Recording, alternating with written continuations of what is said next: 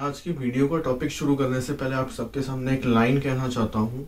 वो to kill and oath to protect देखिए, ये लाइन मुझे सबसे ज़्यादा अच्छी लगी। तो देखिए, आप ये जानना चाहते हैं कि ये लाइन मैंने कहाँ सुनी तो मैं आपको बताना चाहता हूँ कि एक नई फ़िल्म का टीजर रिलीज़ हुआ है। मलयालम मूवी की तरफ़ से एक ऐसी अपडेट आई जिसको सुनकर आप चौंक जाएँगे। और देखिए, मलयालम मूवीज़ की जो सिनेमा है, वो एक ऐसी सिनेमा है जहाँ पे आपको कई तरीके की फिल्म्स कई तरीके के एक्सपेरिमेंट्स मूवीज़ के थ्रू देखने को मिलते हैं। तो देखिए, जी हाँ मलयालम मूवी के काफ़ी नामी एक्टर जिनका नाम है पृथ्वीराज सुकुमारन, उनकी अपकमिंग फ़िल्म आ रही है जिसका नाम है कुरुथी। एक ऐसी सस्पेंस थ्रिलर फ़िल्म जिसका टीजर आज रिलीज़ हो चुका है तकरीबन तीन घंटा पहले। तो देखिए टीजर आपको ये बताता है कि आग के बारे में, अग्नि कि देखिए, इसमें टीजर में ऐसा दिखा है कि किसी की डेथ हो चुकी है, किसी का एक्सीडेंट हो चुका है और फिर सीधी सी एक कॉन्फ्रोंटेशन एक लड़ाई दिखाई गई है। पृथ्वीराज सुकुमारन का रोल इसमें, जैसे एज यूजुअल वो मेन रोल करते हैं हर मूवीज़ में तो इसमें भी वो मेन रोल ही कर रहे हैं। जिस तरीके की ये बात बोली गई है कि आग जलाई जाती है। जब आग जलाई जाती है तो उससे दूसरों को भस्म किया जाता है और जब भस्म किया जाता है, जब आग को ये लगता है कि आप सारी की सारी शतरंज की बाजी जीत गए हो, तभी एक ऐसा मोड़ आता है आपकी ज़िंदगी में कि आप उसी अग्नि से खुद ब खुद भस्म हो जाते हो। ऐसी लाइन इसमें बोली गई है, वैसे तो मलयालम में बोली गई है। मैंने इसका हिंदी ट्रांसलेशन आपके सामने पेश किया है। देखिए, इसमें आपको मुरली गोपी भी नज़र आएँगे और साथ में आपको नज़र आएँगे Prithviraj Sukumaran as a main lead में। और उनका रोल वाकई में काफ़ी ज़्यादा अच्छा लग रहा है। जिस तरीके का उनके हेड से यहाँ से खून निकल रहा है, या चेहरे से खून निकल रहा है, वो फाइटिंग सीन्स काफ़ी अच्छे से इसमें करते हुए नज़र आ रहे हैं। देखिए, वैसे कुछ कुछ साल, कुछ महीनों पहले ही एक फ़िल्म रिलीज़ हुई थी मतलब पिछले साल की ही बात है, एक फ़िल्म रिलीज़ हुई थी जिसका नाम है लूसीफर तो लूसीफर एक ऐसी मूवी थी जो काफ़ी ज़्यादा यूनिक कंटेंट इलियोमिनाटी के ग्रुप पर एक काफ़ी अच्छी फ़िल्म थी वो। तो उसको भी डायरेक्ट किया था पृथ्वीराज सुकुमारन ने। अब वो इतने अच्छे डायरेक्टर हैं, एक तो सबसे पहली बात, वो एक्टर बहुत अच्छे हैं। उनकी फिल्म्स कई ज़्यादा रीमेक होती हैं। तेलुगु फ़िल्म इंडस्ट्री में भी रीमेक होती हैं बॉलीवुड फ़िल्म इंडस्ट्री में भी रीमेक की जाती हैं। लेकिन कहीं ना कहीं वो इस बात को सबसे अच्छे से जानते हैं कि मलयालम सिनेमा के जो ऑडियंस हैं और जो किसी भी लैंग्वेज के फ़िल्म देखने वाले जो हैं, दूसरी लैंग्वेज के भी, चाहे वो हिंदी हो, चाहे वो कन्नड़ हो, चाहे वो बंगाली हो, उन्हें एक बात पता है कि यूनिवर्सल ऑडियंस को किस तरीके से आप अट्रैक्ट कर सकते हो।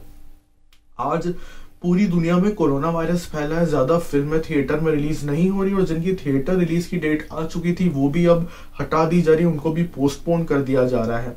तो इस सब के बीच लोग काफ़ी ज़्यादा खाली हैं। लोग मूवी सबसे ज़्यादा देखते हैं और मलयालम सिनेमा खासकर पृथ्वीराज सुकुमारन इस चीज़ को सबसे अच्छे से जानते हैं।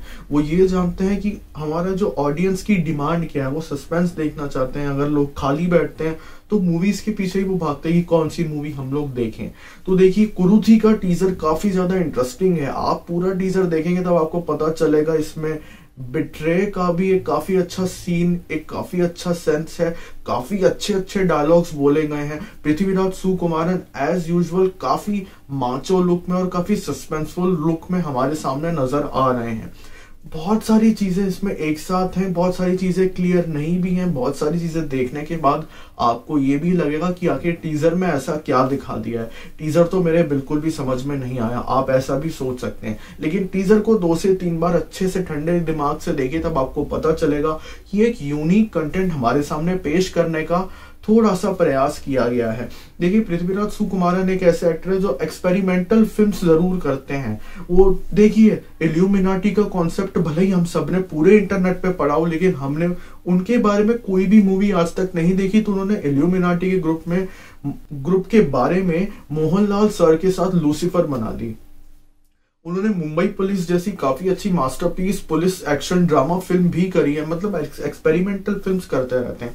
देखिए, मलयालम सिनेमा अगर खासकर कुरुथी की बात करें तो मैं आपको कहना चाहूँगा कि देखिए, ये जितनी एक्सपेरिमेंटल फ़िल्म करते हैं, उतना ही लो बजट भी फ़िल्म का रखते हैं।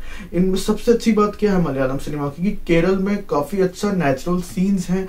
तो इन्हें कुछ सेट बनाने की ज़रूरत नहीं पड़ती कि ये अलग से स्पेशल पैसा खर्च करके सेट बनाए, नहीं। ये जंगलों में शूटिंग कर लेते हैं। ये छोटी मोटी जगहों में जाके शूटिंग कर लेते हैं। ये छोटी छोटी गलियों में बैठ बैठ के शूटिंग कर लेते हैं। इनमें ये चीज़ सबसे ज़्यादा अच्छी होती है, इसलिए मलयालम सिनेमा काफ़ी यूनिक और काफ़ी सॉफ्ट और ट्रेडिशनल कंटेंट बनाने पे काफ़ी ज़्यादा फेथ रखती है। अपनी जो ब्यूटी है केरला की वो दिखाने पे सबसे ज़्यादा फेथ रखती है। और वही चीज़ कुरुथी में भी मैंने देखी कि जिस तरीके का जंगल का उन्होंने एक सीन क्रिएट किया है, जिस तरीके से एक थोड़ा डरावना सीन क्रिएट किया है चेजिंग थीम जो क्रिएट किया है, वो चीज़ आपको कुरुथी के टीजर में काफ़ी अच्छे से नज़र आएगा। अगर कुरुथी का आपने टीजर देखा है तो बताइएगा ज़रूर कि टीजर के बारे में आपको क्या क्या बात कहनी है क्या क्या चीज़ें आप लोग डिकोड कर पाए। जितनी बातें मैं डिकोड कर पाया था, वो सब मैंने आपके सामने रखी और आप क्या एक्सपेक्ट करते हैं कि पृथ्वीराज सुकुमारन किस तरीके की एक्टिंग करेंगे? वो भी आप मुझे कमेंट में लिखकर प्लीज़ ज़रूर बताइएगा। जाते जाते इतना ही कहना चाहूँगा कि मूवी से रिलेटेड हर अपडेट्स के लिए मेरे चैनल को लाइक शेयर और सब्सक्राइब करना प्लीज़ मत भूलिएगा।